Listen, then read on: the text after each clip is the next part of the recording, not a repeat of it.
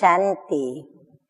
आज की तारीख है तेरह चार चौदह।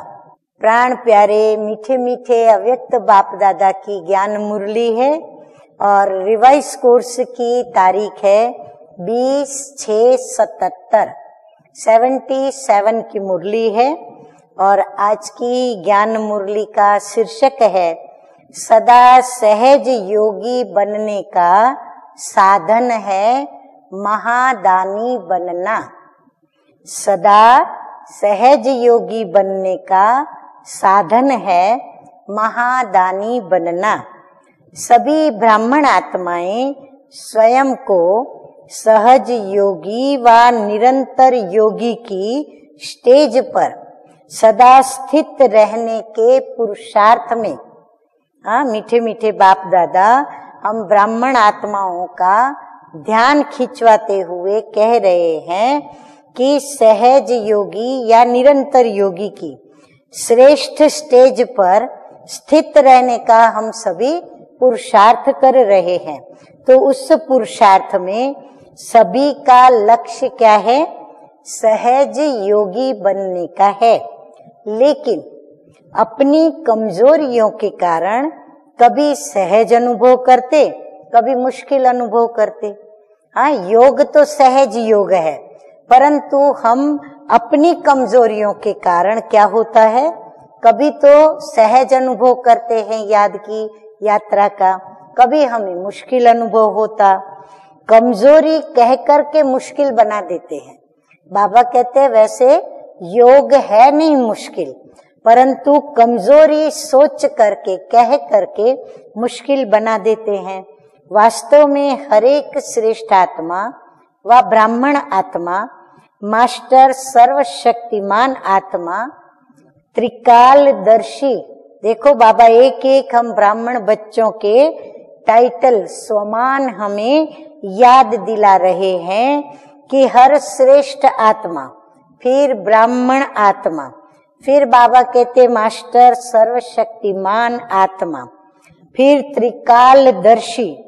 मास्टर ज्ञान सागर आत्मा। कोई भी कर्म में व संकल्प में मुश्किल अनुभव नहीं कर सकते। सहज योगी के साथ साथ ऐसी श्रेष्ठ आत्मा स्वतः ही योगी होती है, क्योंकि ऐसी श्रेष्ठ आत्मा के लिए बाप और सेवा, यही उनका संसार है। अब जिसके अंदर इतनी पाँच छह बातें जो बाबा ने स्वमान की याद दिलाई और टाइटल बताए हम ब्राह्मणों के तो जिसके अंदर इतनी सारी विशेषताएँ हैं तो बाबा कहते हैं, ऐसी विशेषता वाले बच्चे तो स्वतः योगी होते हैं। और ऐसी श्रेष्ठ आत्मा के लिए बाप बाप की याद और सेवा, बस यही उनका संसार है। उनको इसके अलावा और कुछ सूझता नहीं। बाप की याद और सेवा ही ब्राह्मण जन्म के संस्कार हैं। वास्तव में ब्राह्मण जन्म के संस्कार भी यही हैं कि बाप की याद और सेवा करना, विश्व सेवा। बाप और सेवा के सिवाय संसार में न कुछ दिखाई देता है, न संस्कारों में और कोई संकल्प उत्पन्न भी हो सकता। किसी भी मनुष्य आत्मा की बुद्धि संसार में संबंध और प्राप्ति के तरफ़ ही जाती है। अक्सर मनुष्य आत्माओं की बुद्धि संसार के अंदर कहा जाती है? या तो किसी न किसी संबंध के तरफ़ और फिर उस संबंध के द्वारा जो भी उन्हें प्राप्ति होती है, उसी के तरफ़ जाती है। तो बाप दादा कहते हैं कि ब्राह्मण आत्माओं के लिए सर्व संबंधों का आधार और सर्व प्राप्तियों का आधार एक बाप के सिवाय तो और कोई है नहीं। हाँ है कोई और हमारे पास जिससे हम प्राप्ति करें? तो स्वतः योगी बनना मुश्किल है व सहज है? हाँ जिसका संसार ही बाप और सेवा हो तो बाबा कहते हैं, उसके लिए स्वतः ही योगी बनना मुश्किल है या सहज है? हाँ वो तो हुआ सच्ची मोहब्बत करने वाले। तो मोहब्बत में मेहनत नहीं होती और जहाँ मेहनत नहीं, वहाँ स्वतः ही योग लगता है। न चाहते भी बुद्धि वहाँ जाएगी, जहाँ सर्व संबंध और सर्व प्राप्ति है। तो स्वतः योगी हुए ना? अगर सहज योगी और स्वतः योगी नहीं है तो तो क्या है? बाप दादा कहते हैं तो अवश्य बाप से सर्व संबंधों का अनुभव नहीं है। तो चेक करें कि हमें सर्व संबंधों के बाप के द्वारा अनुभव होते हैं। यदि अनुभव नहीं होते हैं तो हमें अपने योग की, याद की यात्रा को बेहतर बनाना पड़े।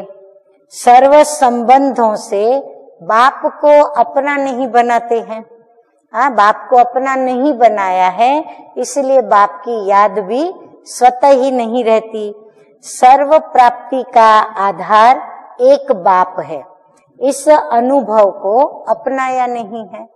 बाबा कहते जो आधार है, उसको पकड़ा नहीं है। तो सर्व प्राप्ति का आधार कौन है? एक बाबा। और एक बाबा से योग लगाना तो याद में रहना और बाबा की आज्ञा, माना विश्व सेवा करना। स्वतः स्व का परिवर्तन और उसके द्वारा विश्व का परिवर्तन करना। तो बाबा कहते हैं, इस अनुभव को अपनाया नहीं है।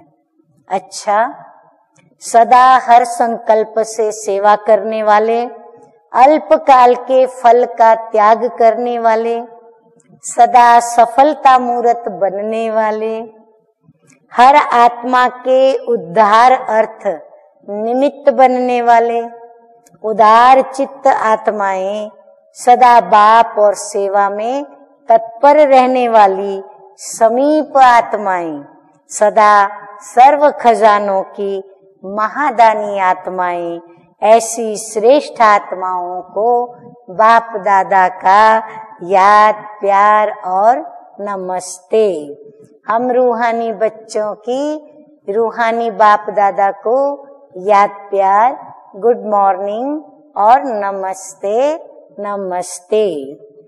वरदान है आज सतगुरु बाबा का अपने प्रैक्टिकल जीवन के प्रूफ द्वारा। अपनी प्रैक्टिकल जो लाइफ है, उसके सबूत के द्वारा साइलेंस की शक्ति का आवाज़ फैलाने वाले।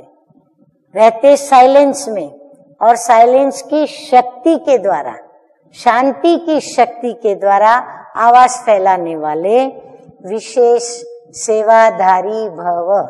है ना वंडरफुल बात? शांति की शक्ति और उससे आवाज़ फैलता है।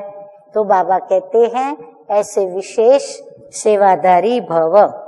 हरेक को साइलेंस की शक्ति का अनुभव कराना यह विशेष सेवा है।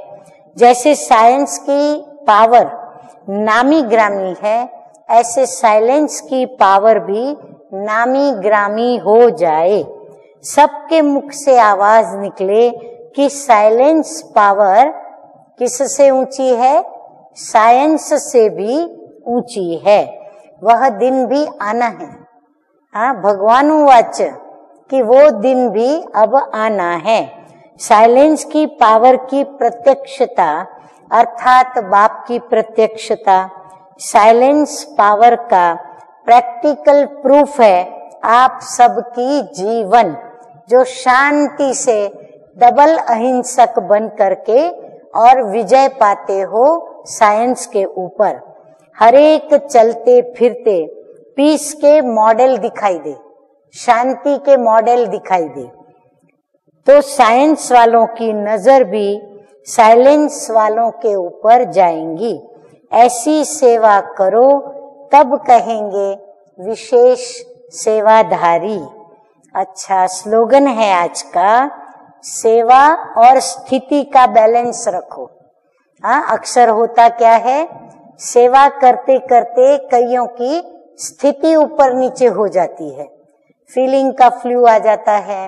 मान, अपमान, निंदा, स्तुति, फिर ईर्ष्या, द्वेष, कई बातें स्थिति को ऊपर नीचे कर देती हैं। तो बाबा कहते हैं, सेवा और स्थिति का बैलेंस रखो तो सर्व की ब्लेसिंग मिलती रहेगी। तो क्या होगा? सर्व की आशीर्वाद हमारी स्थिति के कारण मिलती रहेगी। अच्छा ओम शांति।